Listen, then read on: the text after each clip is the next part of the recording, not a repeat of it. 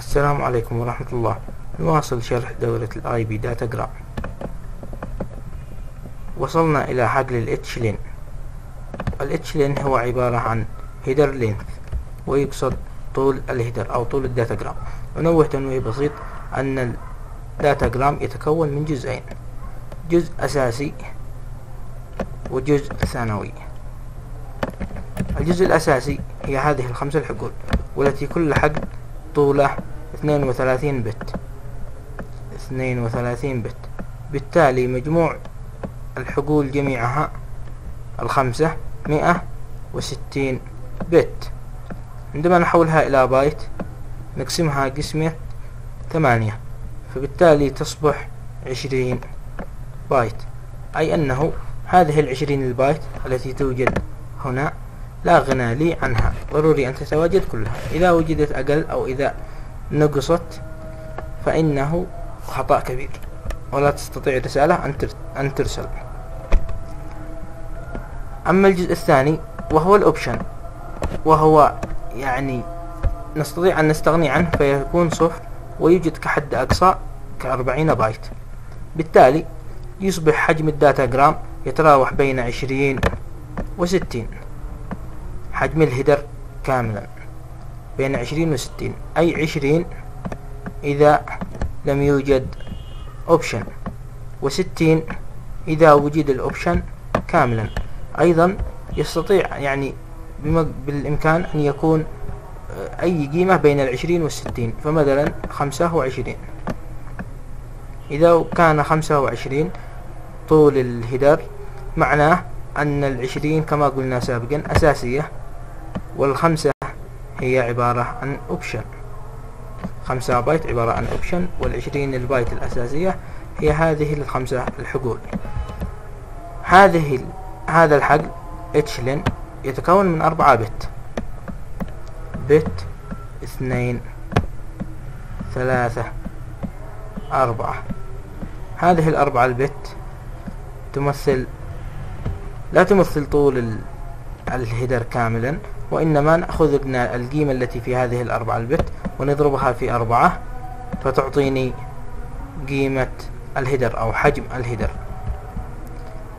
بمعنى أن هذه الأربعة البت مثلا إذا كانت مثلا صفر واحد صفر واحد فإن هذه القيمة كم تساوي؟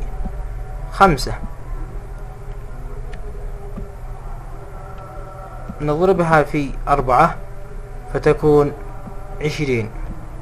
هذه العشرين هي حجم الهدر. وهي يعني أن الهدر هذا كاملا حجمه عشرين. ما هي العشرين؟ العشرين الأساسية والأوبشن صفر لا يوجد أوبشن. مثال آخر إذا كان داخل هذه التعليمة واحد واحد صفر صفر هذه كم هي؟ واحد اثنين أربعة ثمانية. أي اثناعش. اثناعش.